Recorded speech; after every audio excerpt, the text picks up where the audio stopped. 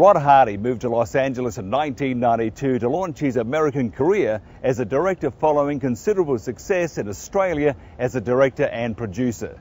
Since his award-winning US directorial debut, he has achieved both Golden Globe and Emmy nominations for Movie of the Week and a mini-series. Rod, great to see you. Thanks very much. Tell us about the current project. What are we doing right now? Uh, well, we're on the set on the location of 20th Century Fox here in Los Angeles, and I'm doing a show called Dollhouse, mm-hmm. produced and written by Joss Whedon, who's a uh, has quite a cult following, quite a successful producer who did things like um, Buffy the Vampire Slayer and uh, Angel, etc. And uh, so the series is fairly new. I'm doing episode two, and uh, I think it airs on Fox um, here in the United States at the beginning of January sometime. And it's amazing on set there are just so many Australians. Tell us about this contingent of Aussies?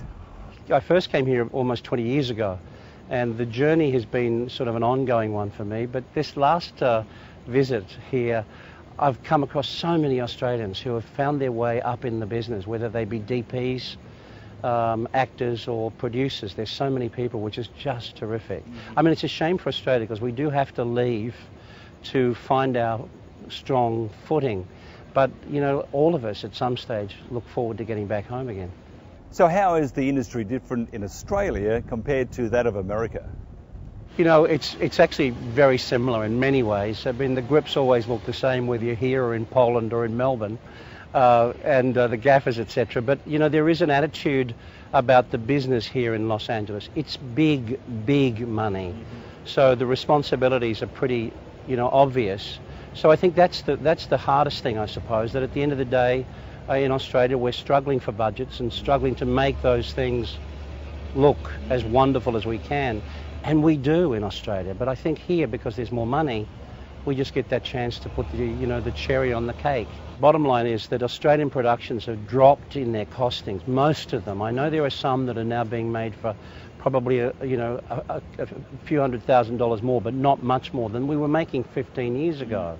So money is a major issue, and of course the, the networks are saying, but we've only got a population of 22 million people. Mm. Where here in the United States we have 280 million people, you know, so there's a much bigger marketplace. So how has the industry changed?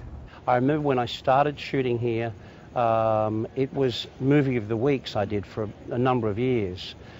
There were, I think, of all the networks, they were making about 50 each of them um, a year that's probably two to 300 movie the weeks. Now we'd be lucky to see 15 mm. in total. So that's changed enormously. The, the um, episodic world has got so much better. I mean, American television now in episodic is something that's really terrific to watch. In fact, sometimes I think it's better than the feature films. So what makes a great movie or a mini series or a TV program? Something that makes you laugh, makes you cry, uh, keeps you on the edge of your seat and keeps your interest away from wandering off to the refrigerator for another, you know, another beer. Uh, you know, it's it's all about getting characters that you can care about. Whether you want to care to hate them or love them, you've got to care about them. So, in a sense, film and television is all the same. And Rod, you're world famous for directing Neighbours. Oh goodness me, yeah. So they still haunt you. Uh, it's I, look, it's a nice haunting in one way, but yes. you know, I did one block of episodes of Neighbours, five episodes. One of them was the wedding, mm-hmm. uh, uh, the, the, famous wedding.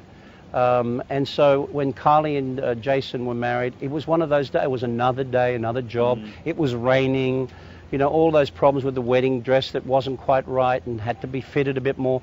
How long was it going to take? All the problems we normally had. And here we are 20 odd years later, and it's a piece of television history. Mm. So, um, you know, I'm very proud to have been part of it. Uh, I, I um, did a lot of the early days of Australian television, um, but, but most of all, um, I'm now pleased also to be here working in the United States. So, looking back over your career, what's one highlight?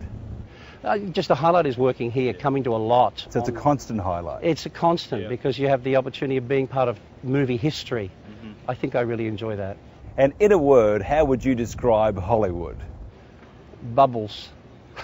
the bubbles that you could drink and have fun with, and bubbles that are going to burst one day. And everybody's walking that very fine line of being part of the celebration or the failure. And maybe bubbles to have a, a spa also with the champagne. That would be terrific. Rod, thank you very much.